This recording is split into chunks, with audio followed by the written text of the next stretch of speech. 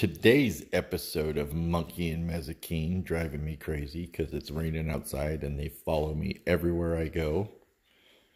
Um, I said on one of my videos when we are showing you how to make them go left and right, um, the treats that I used, and we got a new box, so I thought I would show it to you so you get a better idea. Look at that product drop. Good advertisement for them.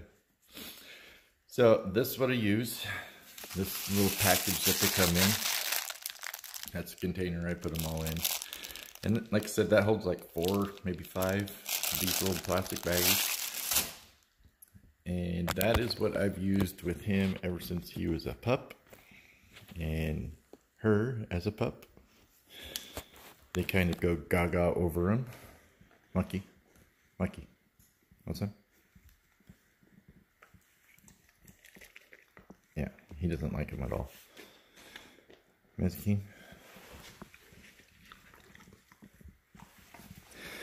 And then Tank, of course, he likes him too because, you know, he'll eat anything. He's like the Mikey of the family.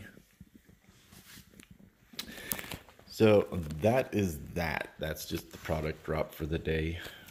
Pretty sure we'll make a goofy video later of training them what not to do because I'm pretty good at training them what not to do compared to what they should do. Monkey, good place, good place. Mazikeen place. No, hey, good place. Monkey, good place. Last time I did this, they jumped on the table. Here, place. Monkey place. Ah, see.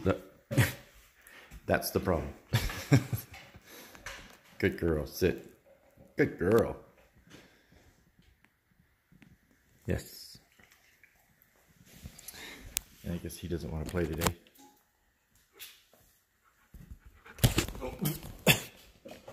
Why you always gotta be that way? Get down. Off. Oh, no, you guys are not doing the video, right? You're... okay, so I guess we're done with this video.